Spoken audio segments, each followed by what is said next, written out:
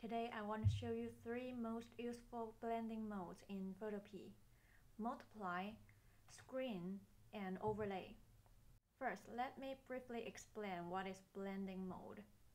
When we're blending two layers, the background layer can be considered a base layer, and the upper layer can be considered as the blending layer. When the blending mode is normal, layer 1 completely covers background layer, so we can only see layer 1. When you drag down the blending mode menu, you can see Photopea has six main categories of blending modes.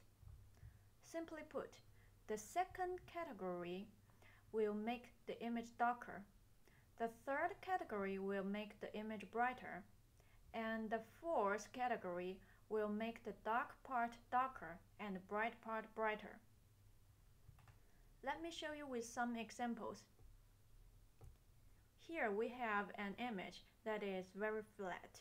That is to say, it doesn't have much contrast. If we choose multiplied, the image will become darker. We can think of multiply as putting two films on the projector so the light won't go through easily. That's why the image looks darker. And if we change the blending mode into screen, the image becomes brighter. Screen is pretty much self-explanatory. It is as if we have more than one computer screen projecting light onto the image, so naturally it will look brighter. And if we change the blending mode to overlay. You can see that the bright part becomes even brighter and the dark part becomes even darker. And that's the definition of contrast. So by applying overlay, we can quickly fix a flat photo and give it more contrast. Now let me give you another example of how we can apply these three blending modes into our photo editing.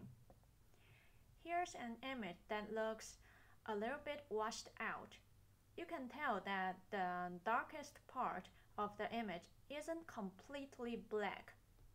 This is a kind of style that some people like, but if you want to make it more contrast, you can simply apply overlay.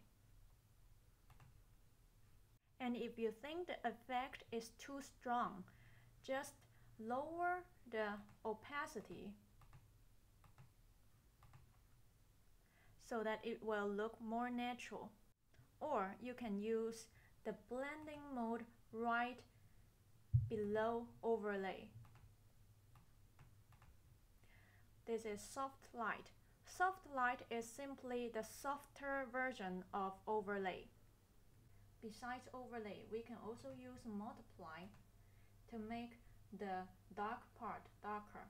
But you can see that the entire image has become darker, even the highlight part, and that's not what we want. So we can right click on layer 1 and click on blending options. Here we have current layer, which is our layer 1, and background layer, the, the background layer. And then we can drag it to the left so now you can see that the highlight part starts to show. But now the edges between the highlight and the dark part is very strong. So we can hit Alt and drag it to different part. So now we create something sort of like a feathering effect. So the edges is are the edges are now not that strong so it looks more natural. And you can adjust how much highlight you want to show. Click OK. So now you can see that before we have our washed out image and after we use multiply to drag down the dark part drag our shadow. But we also protect our highlight. We can also use blending mode to create light sources. For example, now, um, if I want this image to look like as if this guy is looking at a sunset. So now what we can do is create a new layer and simply use our brush tool to paint a sun here. Um, remember to use a very soft brush so that it won't have a very strange edge. So now we can change our blending mode into screen. Remember screen will make everything brighter. And now we can turn down our opacity and we can also create a hue and saturation layer to adjust our adjust the color of our sunlight. Here, now we can choose whatever color we want.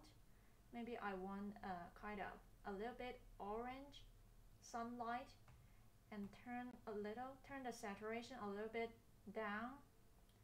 So now, by applying screen plus a little bit of adjustment in hue and saturation, we have created a very natural sunset.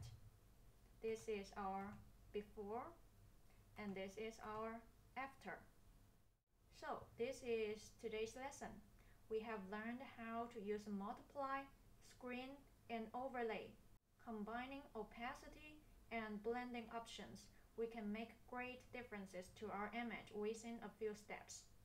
So if you like this video, please give me a thumbs up and I'll see you next time. Bye!